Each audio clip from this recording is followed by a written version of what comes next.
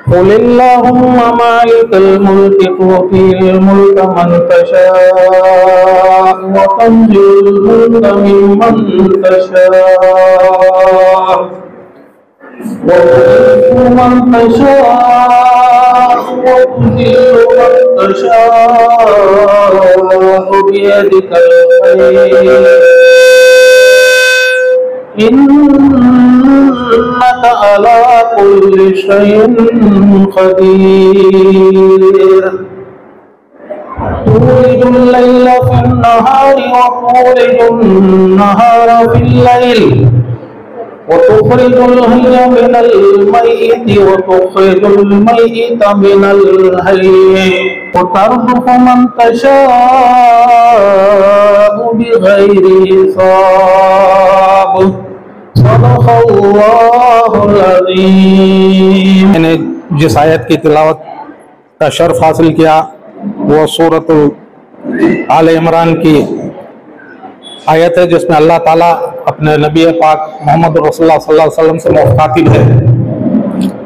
और इसका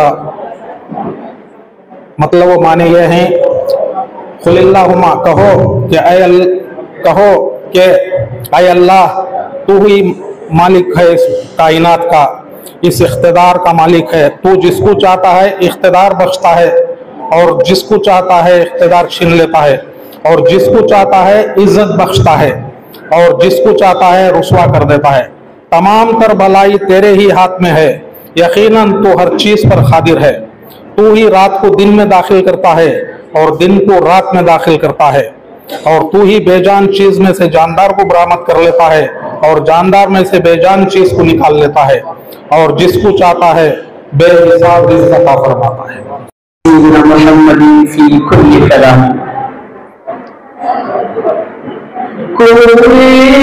नबी से आ सके राहत भी कुछ ऐसी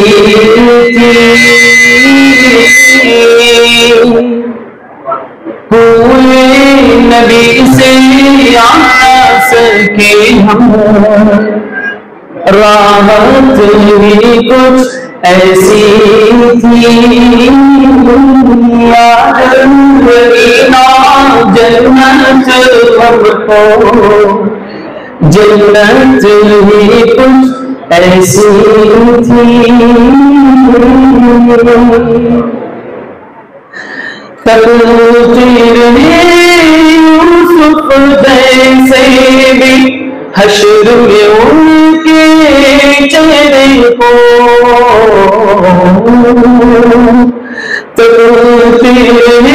यूसुफ जैसे हशर उनके चेहरे को।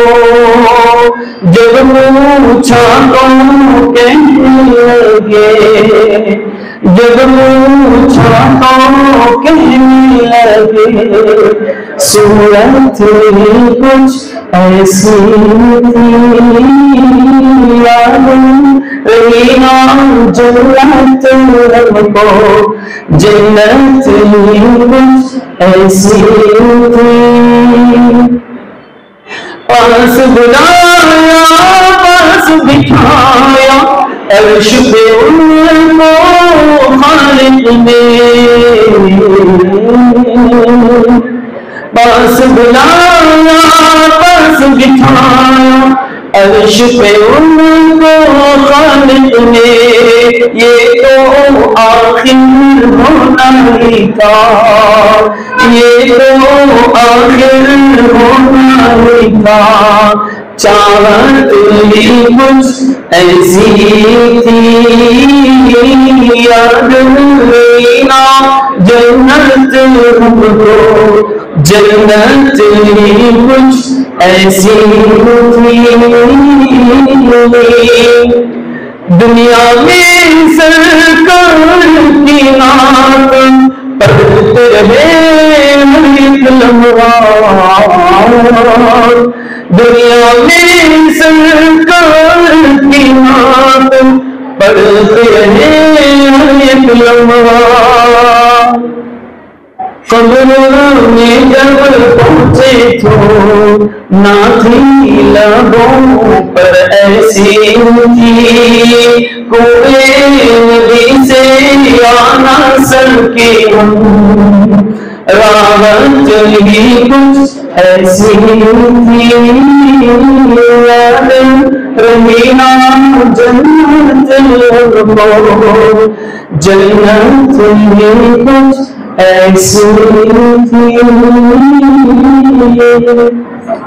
ये मेरे लिए निहायत मुसरत का मौका है कि मेरे शफीक उस्ताद एम सईद अहमद साहिब की किताब के रस्म रोनुमा के मौके पर मेरे खिदमत पेश कर सकूँ। आपके सामने खड़ी हुई। ये मेरी खुशकिस्मती है। कि मेरे उस्ताद के मोहतरम प्रोफेसर एम सलीम अहमद साहब की किताब के इजरा के मौके पर आप तमाम का तहे दिल से इस्तेमाल करती सबसे पहले मैं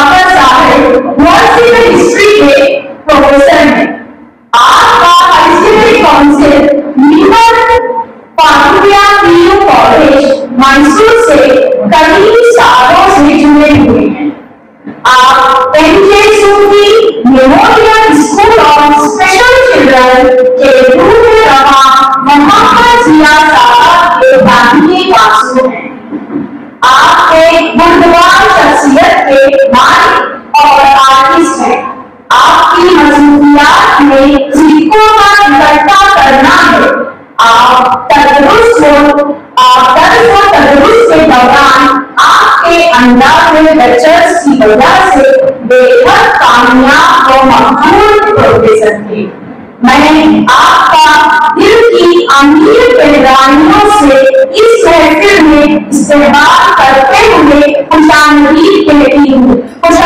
सर।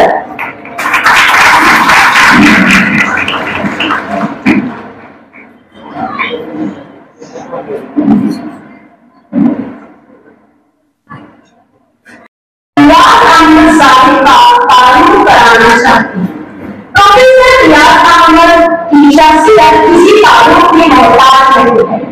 आपने सेंट्रल कॉलेज ऑफ़ बैंगलोर से केमिस्ट्री में एमएससी की डिग्री हासिल की है तकरीबन 80 साल PS college of engineering Mandla में प्रोफेसर और head of department in chemistry studies में मुनाजमत करने के बाद रिटायर हुए हैं सन उन्नीस सौ निन्यानवे से आपने डिपार्टमेंट सुनी पॉपुलर एजुकेशन के वर्तमान एजाजी और सन दो हज़ार दो में डिफ़ॉल्ट मुस्लिम एजुकेशन के सदर रह चुके हैं सन उन्नीस सौ तिरासी से आधा पेट्रोल मार्ग में बाकायदत ऑनररी सेक्रेटरी के खिदमात नाकामी में फरामोश हैं अल्लाह ने दुआ है कि आपके बेशुमार खिदमात को कबूल करते हुए आपकी उम्र दराजी करें मैं प्रोफेसर एम सईद अहमद साहब से और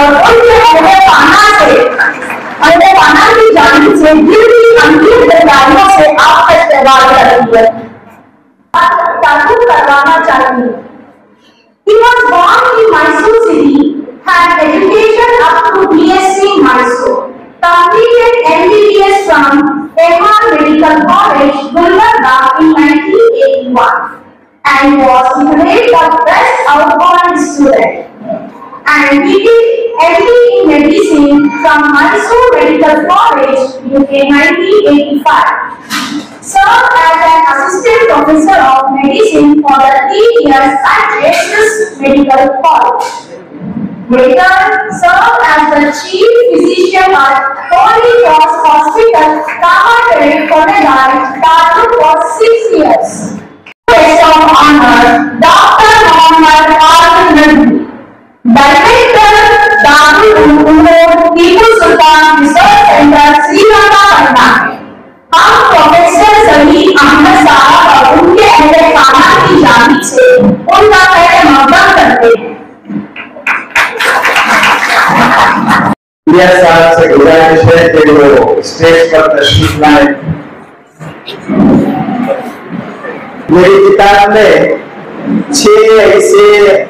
असातजा को मुंतखब किया है कि जिनका असर मेरी ज़िंदगी पर रहा। बड़े अफसोस के साथ कहना पड़ता है कि उनमें पाँच अल्लाह प्यारे हो गए और सिर्फ़ मौलाना मोहम्मद इलिया साहब जी रहन है। अल्लाह आपकी अमूल में खैर बरकत अदा फरमाए। मैं दो चार जुमलों में बात बताना चाहता हूँ। आपका ताल्लुक पालनपुर गुजरात से है और वहाँ से मैसूर आकर कई मदारिस में दरस कुरान दे रहे हैं, तजवीज के साथ कुरान पढ़ रहे हैं। और मैं उनहत्तर साल की उम्र में आपसे तालिब बालिगान का प्रोग्राम जो मस्जिद नूर में होता है, वहाँ आपकी शागिर्दी में तजवीज से कुरान पढ़ना सीखा। मैं समझता हूँ कि कुरान के ताल्लुक से बेहतरीन उस्ताद है। ब्लैक बोर्ड का इस्तेमाल करते हुए उन्होंने इस्तेमाल करते हुए उन्होंने दस तदरीस की शुक्रिया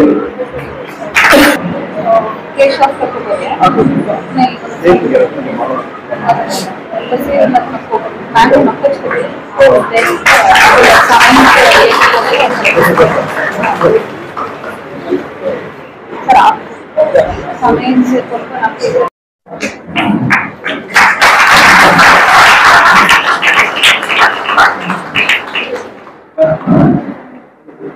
Next to me,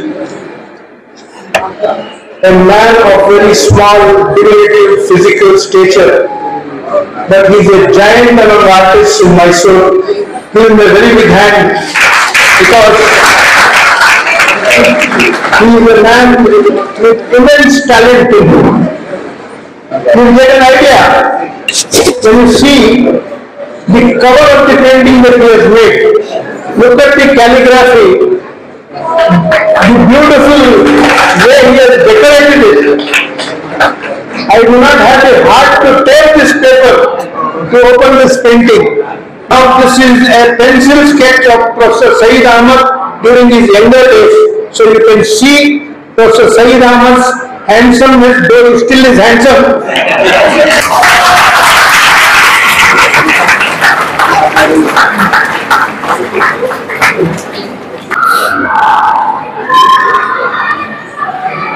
बताता हूँ आज के जलसे के सदर मेरे साथी प्रोफेसर मोहम्मद जाफ़र साहब, मेरे बुज़ुर्ग साथी प्रोफेसर रियाज अहमद साहब, हमारी फैमिली डॉक्टर डॉक्टर के जावेद नईम साहब काबिल एहतराम, मौलाना मोहम्मद हाजिफ नकवी साहब हाजरीन मैं अपनी जानब और मेरे अहल वयान की जानब से आप तमाम का इस महफिल में इस्तकबाल करता हूँ। मैं मेरे तमाम रिश्तेदार, दोस्त, अहबाब का और मशहूर हूँ कि आपने मेरी दावत पर लबैक कहते हुए इस महफिल में शिरकत करने की जहमत गवारा की है। मेरे खिताब का उन्वान है मारिफत जिसके लफ्जी माने हैं पहचान। हमें अल्लाह की मारिफत के साथ अपने की पहचान करना ज़रूरी है। मैं आप लोगों के सामने एक सवाल रखता हूँ। क्या किसी ने अल्लाह को देखा है? क्या किसी ने अल्लाह ताला से बातचीत की है? मैंने अल्लाह को देखा है। आप लोग मुझसे सवाल करें कि अल्लाह ताला कैसे हैं? मुझे अफसोस है कि मैं भूल गया हूँ। मैं बता नहीं सकता। मगर मुझे याद है कि मैंने अल्लाह ताला के साथ क्या बातचीत की थी, ये याद है। हमारे और अब तमाम के बाद हज़रत आदम सलाम ने अल्लाह ताला से ख्वाहिश ज़ाहिर की, कहे कि मैं कियामत तक आने वाली अपनी औलाद को देखना चाहता हूँ। अल्लाह ताला के हुक्म से हज़रत आदम के पुष्प से कियामत तक आने वाले अरवा अल्लाह के सामने खड़े हो गए। और अल्लाह ने हम सबसे सवाल किया, क्या मैं तुम्हारा नहीं हूँ? हम सबने जवाब दिया, बेशक आप हमारे रब हैं। तो जो है मैं ये बताना चाहता हूँ कि रोज़े अजल में हम, यानी हमारे रूह ने अल्लाह ताला का दीदार किया है, हम देखे हैं और हम भूल गए हैं। अल्लाह ताला के साथ हमारा क्या इख्तलाफ था? हमने क्या वादा किया है कि बेशक आप हमारे रब हैं? इसका ज़िक्र कुरान मजीद में मौजूद है। आप मुताबिया करेंगे तो जो है, कौन सी आयत है, कहाँ पर इसका ज़िक्र है, आपको मालूम हो जाएगा। इसी तरह क्या है प्रोफेसर साहब से माजूरत चाहता है तो अंग्रेज़ी में एक कहावत है तारीख अपने आप को दोहराती है। जिस तरीके से हमारे बाप आदम सलाम ने ख्वाहिश ज़ाहिर की थी कि वो अपने औलाद को, क्यामत तक आने वाली औलाद को देखना चाहते हैं। इसी तरीके से आज तारीफ़ दोहराती है कि मैं अपने रिश्तेदारों को और दोस्त अहबाब को सबको स्टेज पर एक जगह देखना चाहता हूँ। ये मेरी दिली ख्वाहिश थी। अल्लाह ताला ने मेरी इस ख्वाहिश को पूरी करवाया है ये अल्लाह का कर्म है। इसी तरह से हम बंदों को चाहिए कि हम अपनी पहचान एक दूसरे से कराएँ। ये जाने कि किससे हमारा खूनी रिश्ता है।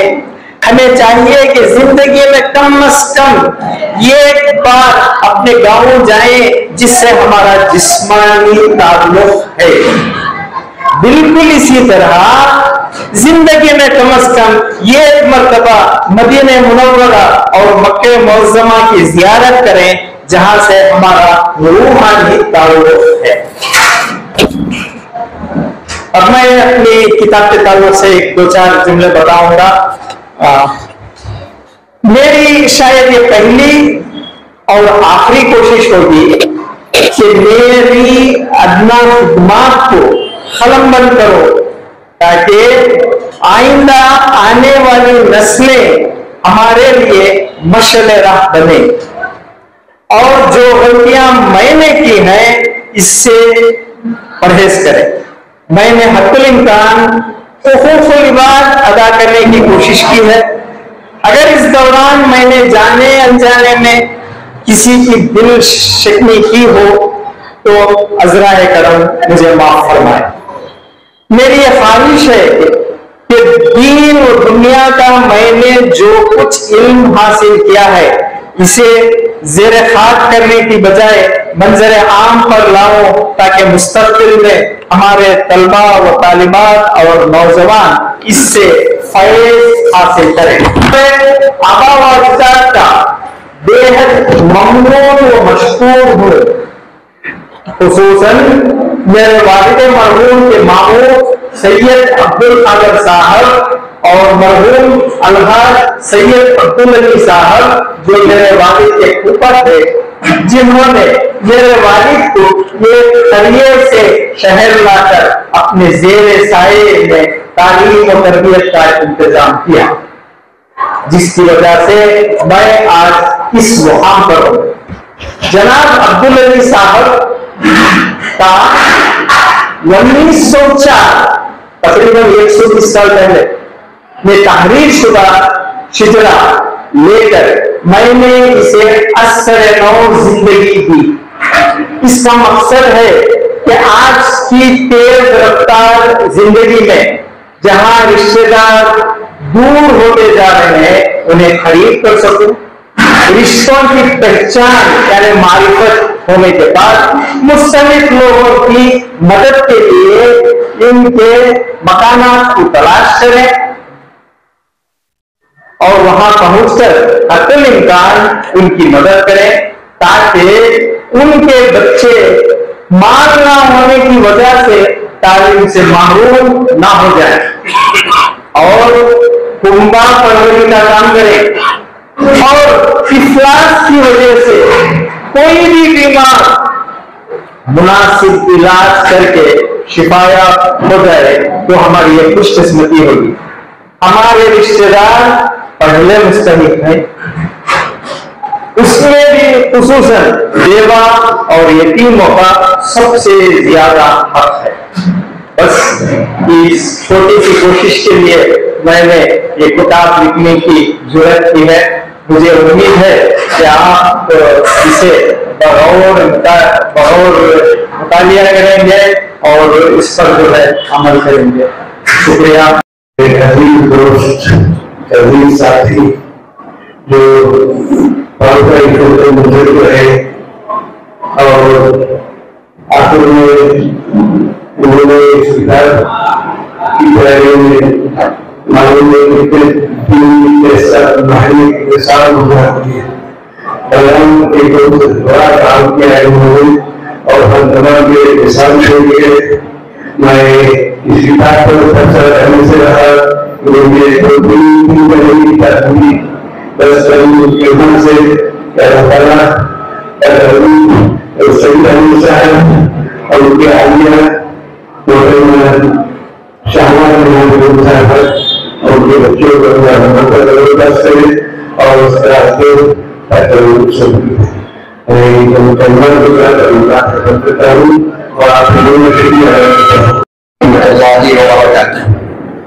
अल्हम्दुलिल्लाह रब्बिल आलमीन वस्सलातु वस्सलामु अला मुहम्मदिन व आलिहि व अस्हाबिहि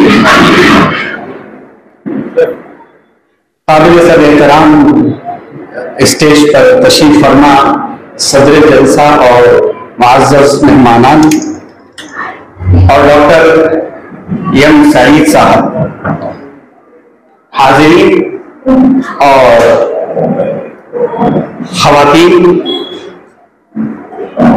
और उसमें भी खास तौर पर मेरी मालिमा, मोहतरमा, डॉक्टर जहाँ आरा बेगम साहिबा और मेरे उस्ताद जनाब प्रोफेसर शबीर मोहम्मद मुस्तफ़ा साहब। आप लोगों की दुआओं से इस किताब को देखा हमने, उर्दू का हिस्सा खास तौर पर हुक्म दिया गया था कि उर्दू का हिस्सा देखा जाए। और उस उर्दू के हिस्से पर किताब का तारुफ कराया जाए। किताब उन्वान है सदाए याददाश्त। सदाए याददाश्त को अगर एक शेर की तर्जुमानी में कहा जाए तो चूँकि डॉक्टर साहब ने बताया कि पूरे अहल खाना जमा है तो उनके लिए बहुत बड़ा पैगाम और मैसेज उसमें है। यूँ तो आम तर्जुमा यह है कि मेरी जो याद है मेरी जो ज़िंदगी है उसकी आवाज़ है। लेकिन आवाज़ होती क्या है? वो आवाज़ ये है कि जो फ़िक्र मैंने पाई, मरने से न मिटेगी। जो फ़िक्र मैंने पाई, मरने से न मिटेगी। बेटा जवान होगा, मैं आऊँगा पलट कर। ये सदाए याददाश्त है। फिर उसके नीचे का जुमला है, हसद सईद। जहाँ तक मेरा गुमान है इस सीन के ऊपर भी जबर है। हसद सईद। जैसा कि डॉक्टर साहब ने बताया कि शिजरा उन्होंने बहुत मेहनत के साथ जमा किया है ताकि आने वाली नस्लें उसे भूल न जाएँ। और उस टाइटल के ऊपर किताब का रस्मी इजरा होगा, मजीद चीज़ें आप देखेंगे। उस पर एक पैगाम लिखा गया है और टाइटल पर जो पैगाम होता है, वो उसकी थीम हुआ करता है। सूरज हूँ, ज़िंदगी की रमक छोड़ जाऊँगा। सूरज हूँ, ज़िंदगी की रमक छोड़ जाऊँगा। अगर डूब भी गया तो शफक छोड़ जाऊँगा। शफक कहते हैं सूरज के डूबने के बाद जो लाली आसमान पर रहती है, जो जब तेज हो जाए तो मगरिब की नमाज़ का वक्त खत्म कहा जाता है तो उसको शफर कहा जाता है। यह किताब का टाइटल है। सूरज तपता है। गर्म भी करता है। सूरज तपता है, गर्म भी करता है, लेकिन असल में यही तपिश हम सब के लिए एनर्जी हुआ करती है। ऐसे आलम की तलाश में चंद शहादतमंद नफूस के दौलत कदे पर दानिशमंदी की बहार आई। उन्हीं में से अफराद खाना से तवज्जो दरकार है। उन्हीं में से खुद आशिया मोहम्मद दस्तगीर और जन्नत मकानी रमीजगी के आँगन में एक सईद और सादत बख्श रूह ने 16 अगस्त 1948 में जन्म लिया, जिनको आज हम और आप डॉक्टर सईद अहमद के नाम से जानते हैं। जिनके हौसलों ने हौसलामंद नस्लें दी। नज़र पड़ी तो नस्लों में पढ़े लिखे डॉक्टर्स की तादाद बहुत नज़र आई। जिनके हौसलों ने हौसलामंद नस्लें दी जिनकी दानिशमंदी ने दानिश्वरों की अंजुमन बनाई और जाने दानिशमंद टॉप लेवल इंटेलेक्चुअल्स अजमान दानिशमंद जब करने पे आते हैं, समंदर पाटते हैं और कोह से दरिया बहाते हैं। डॉक्टर एम सईद कभी तालीम के फरीक नहीं बने। डॉक्टर एम सईद किसी के फरीक नहीं बने, बल्कि डॉक्टर सईद फारूकिया से थे, फारूकिया में हैं और हक बातिल के दरमियान फ़र्क करने वाले रहेंगे। साइंस का जो इल्म है, वो साइंस का इल्म कोई ये सब दुनियावी और टेक्नोलॉजी का इल्म नहीं, वो कुरान का इल्म है। और कुरान मोस्ट टेक्निकल बुक है। जब साइंस का इल्म को मिला तो दुनिया को देखने का नुकते नज़र बदल गया। फिर जब कौम की खिदमत के सिलसिले में दिगर एजाजात को छोड़ करके और आगे जा सकते थे, लेकिन जब नौजवान नस्ल के साथ उठना बैठना हुआ तो अपने इल्म को उन्होंने फ़िक्र में ढाल करके नौजवान नस्ल तक पहुंचाना शुरू कर दिया। किताब में यह बात आपको मिल जाएगी कि इन्होंने ख्वाब भी देखे, सपने भी सजाए, उम्मीदें भी की, लेकिन उस ख्वाब के हिस्सेदार बन गए। इस उम्मीद में उन्होंने इंतज़ार नहीं किया कि कोई आएगा नौजवान नस्ल की तरबियत करेगा। अगर बर मौका कोई आलिम दीन नहीं मिला तो खुद नौजवानों के लिए तफसीर करने के लिए बैठ गए। जब इनको एहसास हुआ जब इनको एहसास हुआ कि कुरान तो हमने बचपन में पढ़ लिया था, लेकिन कुरान की तजवीज जो फ़र्ज़ है तो उन्होंने एक उस्ताद जिनका नाम मौलाना इलियास साहब पालनपुरी और शायद इस मजमे में है भी, अगर मौलाना इलियास साहब पालनपुरी हमारे मजमे में पीछे दिखाई दे रहे हैं, उनको अपना उस्ताद बनाया और उनसे अपने कुरान मजीद की तजवीज दुरुस्त किया और फिर कुरान मजीद पर गौर फ़िक्र शुरू किया, किताब में कई मजामी आपको मिल जाएँगे। और नसब का इल्म भी शरीयत का एक एक इल्म है और अपनी औलाद को बताना चाहिए और ये बहुत बड़ी काबिश है इससे हमें मिलेगा कि हर एक अपना शिजरा दुरुस्त करके रखना चाहिए वरना हमारे बच्चे आज अपने दादा का नाम भी नहीं जानते This book that has just now been released is a bilingual book. It is there both in English on one side and in Urdu on the other side. So it has got two cover pages and both of them you saw. Because some of us are holding it with the English side facing you and some of us are holding it with the Urdu side facing you.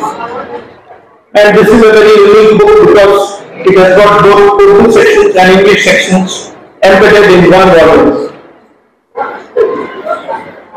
And uh, what is this book about?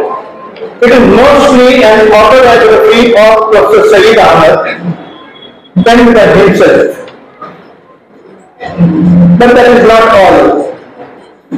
Apart from his biography, apart from being the story of his life and the path that he has walked, it also contains some nuggets of very important information.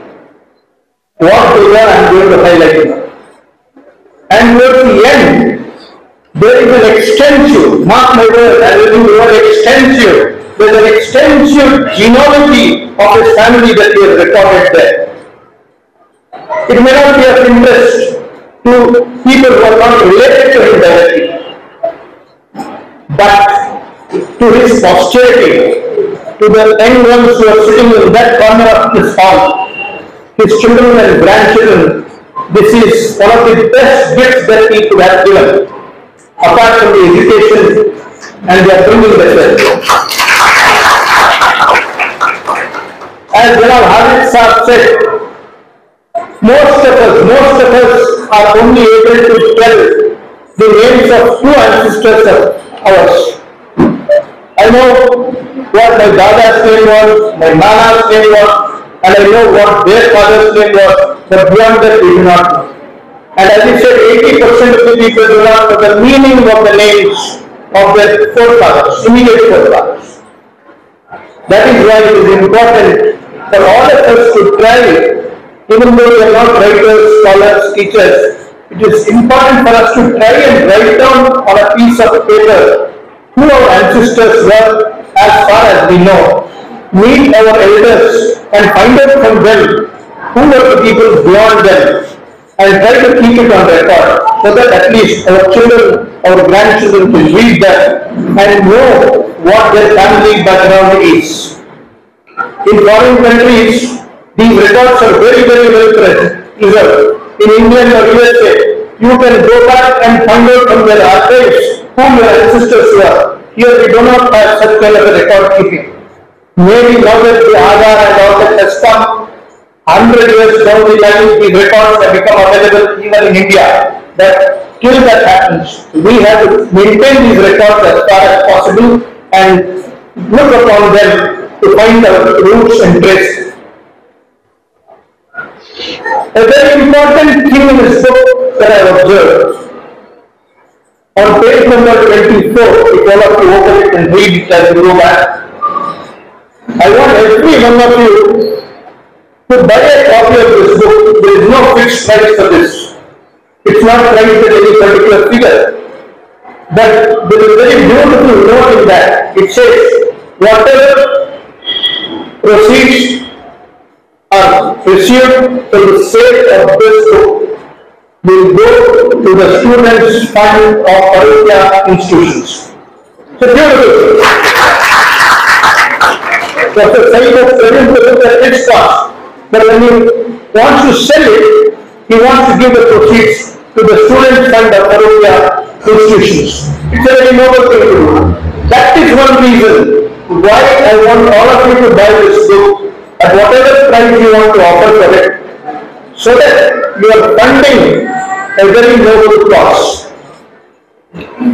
So, he has written that a small paragraph about what the role of the teacher is. And just next to it, he has written another paragraph of what the role of a good student should be. I'll elaborate a little on this. Talking of a good teacher, he says a good teacher is one who entertains questions, who welcomes questions and inquiries from curious students. A teacher who says, no, don't ask me this question. That is not very your syllabus. That is of no concern to you. That is not the topic we are discussing today. So you keep it for some other time. It's certainly not a good teacher.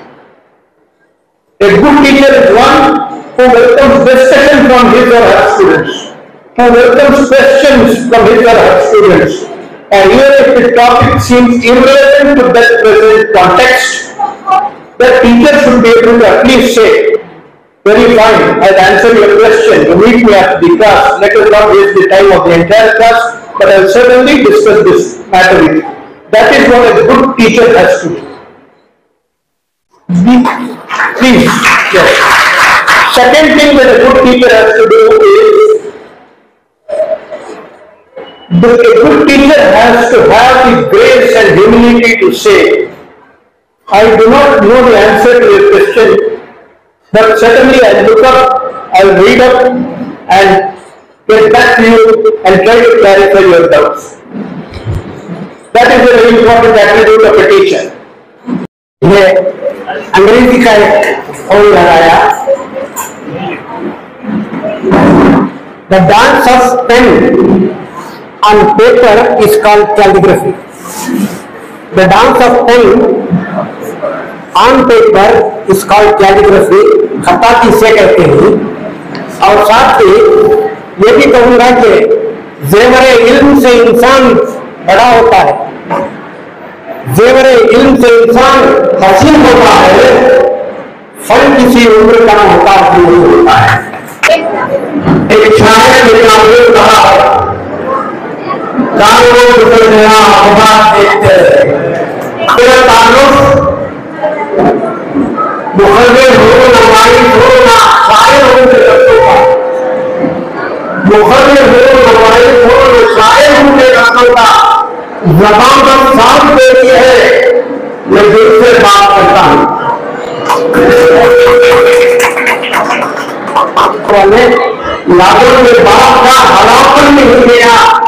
सावन के दिन गए सावन मिल गया no father name, grandfather name, great grandfather name, then fourth generation उनके क्या हैं उनके क्या हैं किसी को मालूम नहीं है।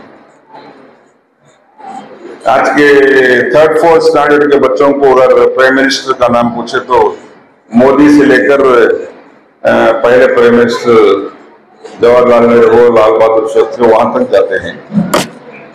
मगर हमारे एक, दो, तीन, चार तक खत्म हो जाता तो इस किताब का इजरा करते हुए उन्होंने अपने दोनों खानदान पर, वालिदैन और वालिद के खानदान की जो हिस्ट्री एंसेस्टर ये जो हिस्ट्री है,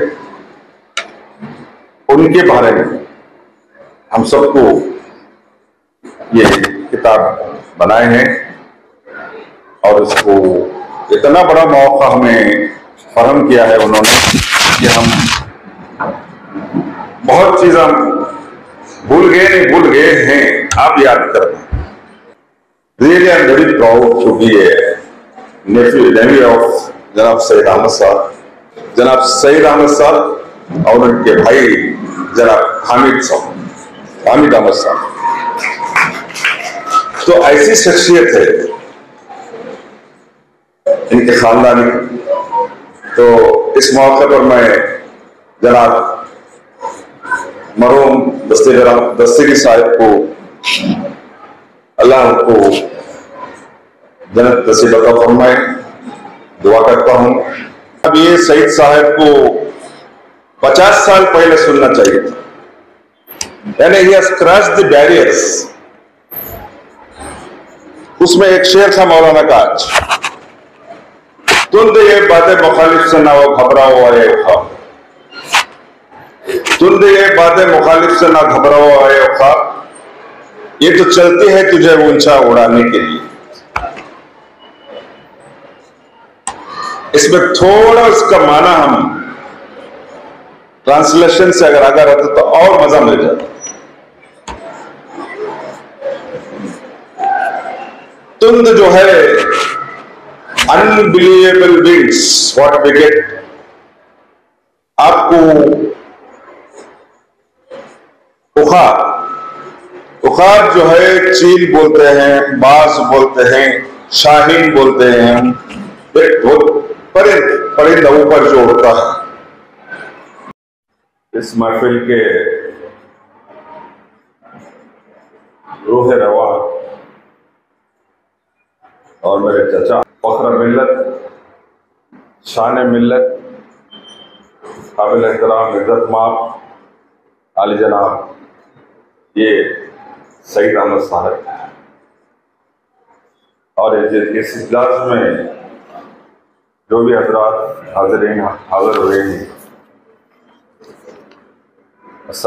वबरकातुहू। जनाब सईद साहब की इज़्ज़त अफजाई करते हुए mà đọc sách phổ thông